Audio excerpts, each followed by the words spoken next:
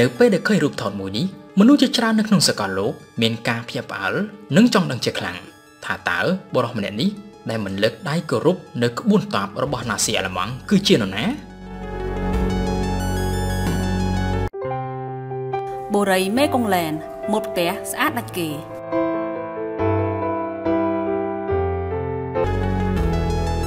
រូបថតនេះបង្ហាញឲ្យឃើញពីបរិសម្នាក់ ដែលខកគេខកឯងចូលអបដៃដោយមិនលើកដៃស្ដាំឡើងទៅលើជាការបង្ហាញអំពីការគោរពចំពោះក្បួនទ័ពនៃណាស៊ីអាល្លឺម៉ង់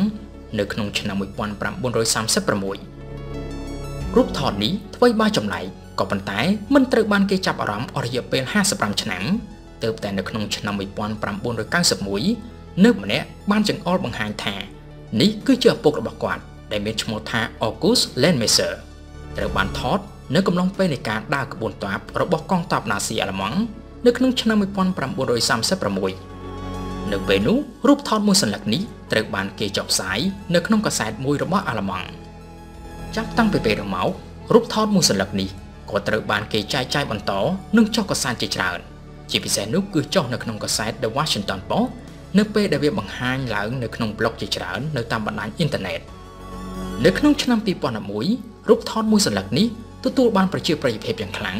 ហើយបានបំបែកចំណាប់អារម្មណ៍របស់មហាជនលើពិភពលោកពីគ្រោះមហន្តរាយនៅក្នុងប្រទេសជប៉ុនគឺគ្រោះរញ្ជួយដី និងព្យុះស៊ូណាមី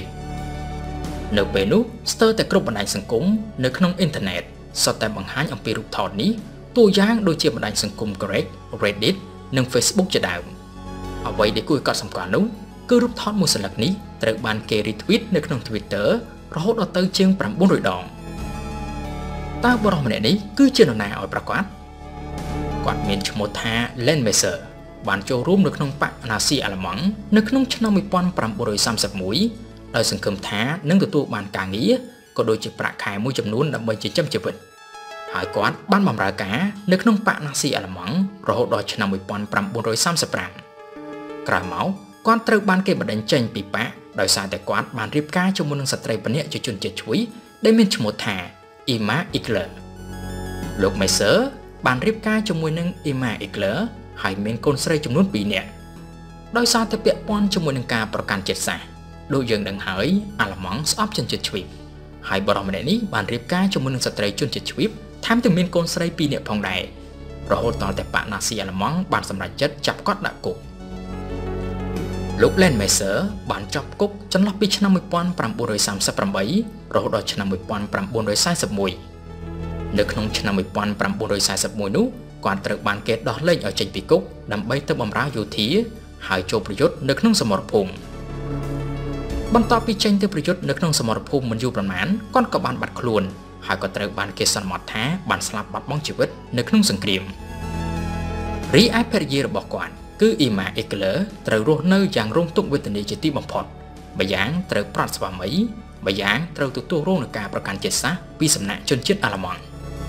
គាត់ត្រូវបានគេចាប់ដាក់គុកពីសំណាក់កងអង្គភាព Gestapo ហើយក៏បានស្លាប់នៅក្នុងកំឡុងនៃសង្គ្រាមរីឯកូនស្រីទាំងពីរនាក់របស់ពួកគេក៏ត្រូវបានខ្ចាត់ខ្ចាយប្រត់ប្រាស់គ្នាផងដែរសូមបញ្ជាក់ផងដែរថាលោក August Landmesser កើតនៅថ្ងៃទី24ខែឧសភាឆ្នាំ1910នៅក្នុងទីក្រុង Moren នៃប្រទេសអាល្លឺម៉ង់ហើយគាត់ត្រូវបានគេជឿថាស្លាប់នៅថ្ងៃទី17ខែតុលាឆ្នាំ1944នៅក្នុងប្រទេសក្រូអាតកំឡុងពេលនៃសង្គ្រាមលោកលើកទី2ហើយមុនពេលដែលគាត់សម្រេចចិត្តចូលជាសមាជិករបស់គណៈបកណាស៊ីអាល្លឺម៉ង់គាត់ធ្លាប់បម្រើការងារជាកម្មករនៅក្នុងក្រុមហ៊ុនជួសជុលកប៉ាល់មួយឈ្មោះថា Bloom Blasphos បូរីមេកុងឡែនបានអភិវឌ្ឍគម្រោងធំទី3មេកុង City ដែលមានមុខផ្ទះបែបអឺរ៉ុបចំនួន5ប្រភេទផ្ទះគឺ Villa King, Villa Queen, Villa ភ្លោះ Villa កូនកាត់និងផ្ទះអាជីវកម្មបង់ត្រឹម400ដុល្លារក្នុងមួយខែបញ្ចុះតម្លៃរហូតដល់12%បង់រំលោះឥតគិតការប្រាក់រហូតដល់24ខែសូមតាក់ទងមកកាន់លេខ061 955 999ដើម្បីសាកសួរព័ត៌មានលម្អិតអូរ៉ៃមេកុងឡែនផ្ដើមជីវិតរីករាយ និងជោគជ័យនៅទីនេះ